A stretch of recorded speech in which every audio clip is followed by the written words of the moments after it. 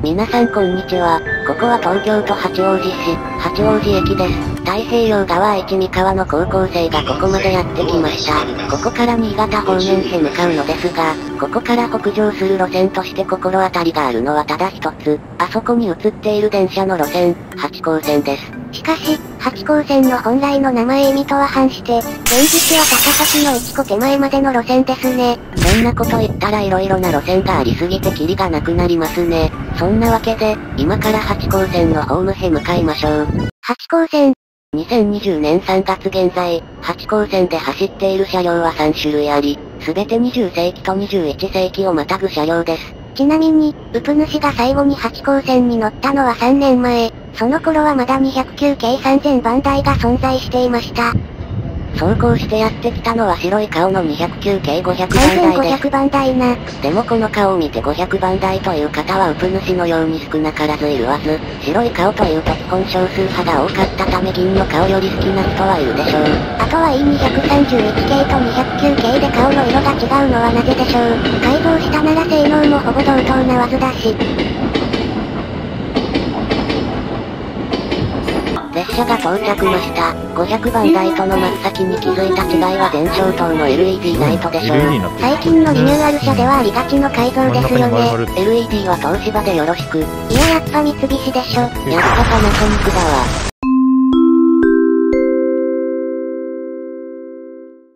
あともう一つ違うところと言ったらドアボタンがついているところですよね。画面の前のそこのあなた、ドアボタンイコール田舎とか言わない。君が何も言ってないし、大都会政令指定都市新潟でも半自動ですからね。そうして乗り込みました。総武線時代と何ら変わりない青色のシートですね。ありがとうございます。この電車は川越線直通川越行きです。次は北八王子です。ただいまの放送であったように、この電車は途中の高麗川からしれっと川越線方面へ入っていきます。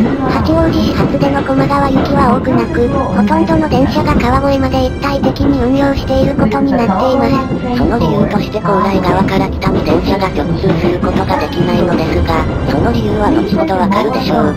また、太平洋側の住民たちはこの路線内での用がないと八号線を使いません。え、どういうこと八号線というのは関東の西側を南北につなぐ路線ですが、通り抜けで使うとしたら相模線と合わせて高崎でショートカットですよね。しかし距離的には確かに近いのですが、都心経由で群馬に入った方が早乗り換え回数も圧倒的な差です。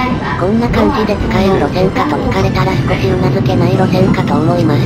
ちなみに八王子から高崎の場合も、中央線と小新線経由の方が本数も多い上に、時間もかからないために、関東のみで考えても使えるかどうかはわからないところです。今さら iPhone7 の機能に驚くウプ主です。あれ、iPhone7 ってもう何年も前の携帯だよね。その時代についていけない気持ちは iPhone じゃない方なら誰でもわかるでしょう。皆さんもスマホは世界の富士通が誇るアッロースでよろしくお願いします。車窓としては、特別高い建物や兄弟企業の工場が見えることもなく、静かな郊外の住宅街の中を走っていく感じになっております。E231 系や209系が今までいたような混雑路線ではなく、ここではのんびりと地元密着で走っているように感じられました。また、先ほど述べたような無能さは確かにありますが、この駅のように私鉄との接続も多数存在したり、関東の西を南北に結ぶ路線はこの路線の他ないので、十分な役割を果たしていると言えるでしょう。この駅は何と読むでしょう？これって普通に読めるの？竹振リスペクトしたら読めますね。ヒントがわからんわ。はい時間切れ。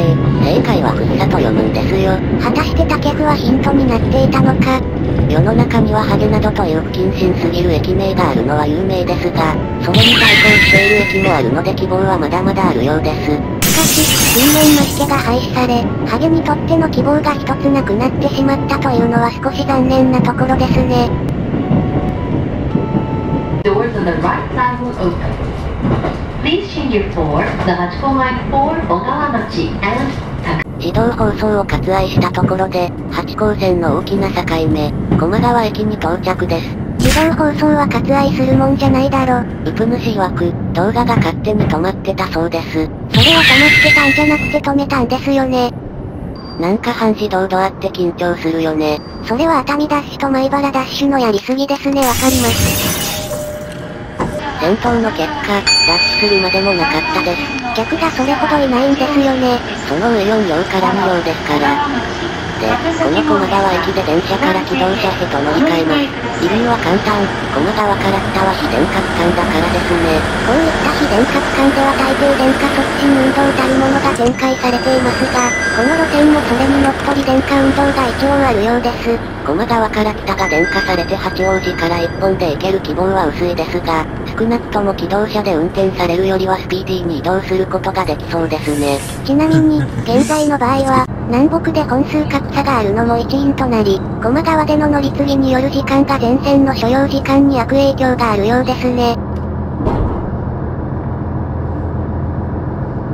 八高線と機動車の関係なんですが、JR へ民営化された後もしばらくは全線にわたり非電化で、96年に南側が電化されたことにより、東京都から機動車が撤退したことになっています。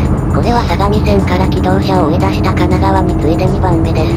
逆に90年代まで都内に非電化区間があったんだね。で、残る北側の区間は全線が埼玉県内を走っておりますが、なんと埼玉県の他の鉄道は全て電化されており、この八高線さえ電化されれば100%ということになるんです。八高線めっちゃ足引っ張るやん。それが今からの区間なのです。本当に電化する需要がないのかどうかはわかりませんが、それは車窓から伺えるんじゃないでしょうか。キハ110の車内はこんな感じ。JR 東日本は釣り手を三角形にして新しい電車風に見せかけているんでしょうか。どういうコンプレックスやねん。だって昔から関東にいる電車たちは全部釣り手が丸なんですよね。そうやって新しく見せようというのは賞味期限を偽装しているほかないですよね。いかんいかん、モザイクかけないと放送できんくなる。この八高線の機動車区間のいいところは、座席が東日本を得意の石のようなシートではなく、ふかふかしたボックスシートになっているんですよね。ボックスシートに関しては賛否はあると思いますが、ここのウプ主に関してはボックスシート大好きな人間なので、ポイントは高めです。ただし、空いている時に限る。もう一つ乗ってて気づいたのは、中央線や昇進線系統に負ける理由の一つとして、八高線は単線のために、行き違いによる待ち時間が発生するのです。それはローカル線として避けては通れない運命だね。八高線の場合交換駅は結構あるのですが、全線によって単線なのは痛いところですね。電化する需要はあるの？そこなんですよね。ただいまは八高線で最も山深い場所の一つである小川町です。ここはものすごい田舎なんですよ。どのくらい田舎なんだ？なんとのんのんびよりの聖地となっているほど田舎なのです。服だけ損したわ。ちなみに、学校のシーンの全てがこの小川町らしく、アニメとは関係ないかもしれないですが、ここではカフェも営業しているようです。あとはのんのんびよりよろしく。アニオタを発しないでいい。話を電化に戻すと、沿線の人口規模からして、昔に電化されてる希望もあるような路線ですが、これからの時代での電化は難しい感じはします。そして前にも述べましたが、この小川町やこの後停車するよりなどで私鉄との接続があり、その私鉄は東西にしか路線はなく、南北に結ぶ路線としてはこの路線が唯一なので、重要な役割を果たしていると言えます。車窓見た感じでも駅付近は結構な民家などもあり、地元密着輸送としては必要不可欠なことが伺えます。こんな感じで確かに遅くて速達勢はなくても、地元住民にとっては大きな役割をしている路線は全国に結構ありますね。しかし、2014年の時点では営業係数は360ほど。数字だけ見ると結構な赤字を出してそうですね。ま、まあ2014年だし、多分現在は改善されてるよ。そして列車は寄居に到着。関東最大の鉄道である東武鉄道の東上線系統の終点ですね。新潟まで延伸されてれば八高線と競合していたかも。そうなっていてはお互いに体力を削り合って共倒れしてそうですけどね。よりより北に進むと、森林から一転し今度は田園風景が広がります。美しいですがウプ主の家の近くとあんまり変わらないですね。列車は埼玉から神奈川を渡り大群馬帝国へと入ります。髪が流れる川ってなかなかのネーミングセンスですね。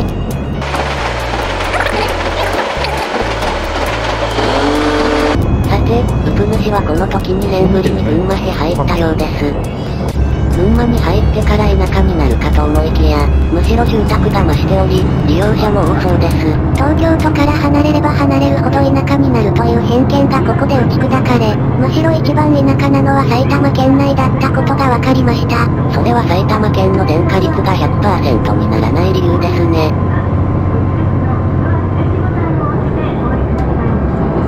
こうして群馬駅の都市、高崎駅に到着です。乗ってみて分かったことというのは全然乗車することに適していないかもしれませんが、地域輸送に特化したものと言えるでしょう。